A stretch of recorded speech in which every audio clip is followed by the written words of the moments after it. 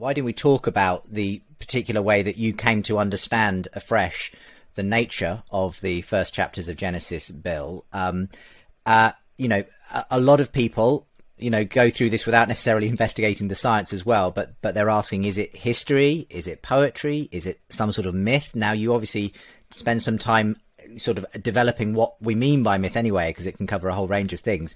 Um so so yeah, to, to, what what did you come to in the end? Just just elaborate on this this particular category that you described it as at the beginning of the show, and and how you came to that conclusion. I first became familiar with this through the Old Testament scholar and Genesis commentator Bill Arnold, who also spoke at these conferences where Josh and I met. And I had never heard this approach to Genesis 1 to 11 before. And it launched me into um, a study of these first 11 chapters uh, and Old Testament literature on this uh, genre, as well as reading in the literature of folklore studies with respect to understanding what myth is in the folklorist sense. A myth, in the sense of, that the folklorist uses the word, does not mean a falsehood like the myth of a low calorie diet or the myth of the self made man, the way we often use that word today.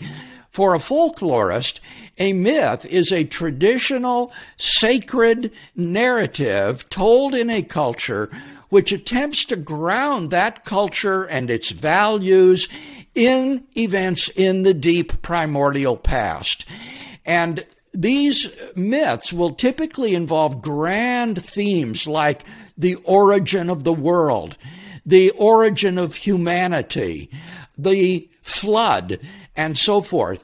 And so the same sorts of grand themes that you find in Genesis 1 to 11 are characteristic of other ancient Mesopotamian myths.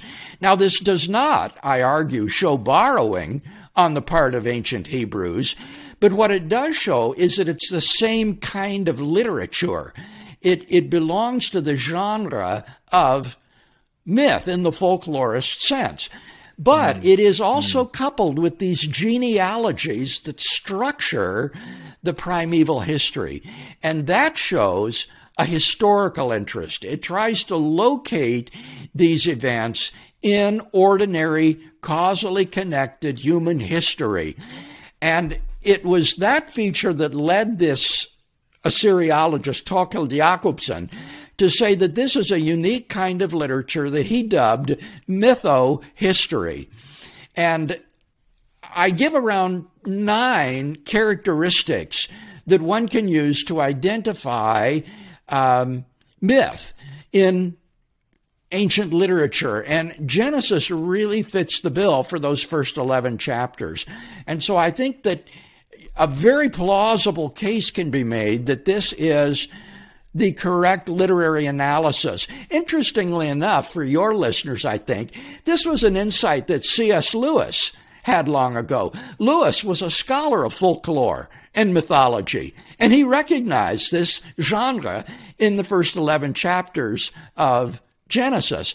And I think he was quite right about that, and a good number of Old Testament scholars recognize this as well.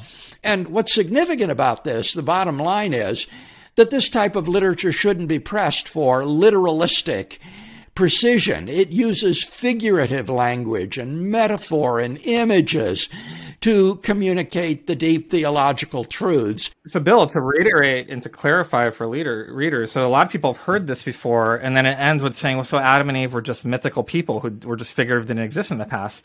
But you actually think there was a historical kernel. Yes. You would even say that they are the genealogical ancestors of all of us. In that sense, it's a type of genealogical Adam and Eve. And that's the difference between pure myth and what Jacobsen called mytho-history. We are dealing here with people that were real and actually lived.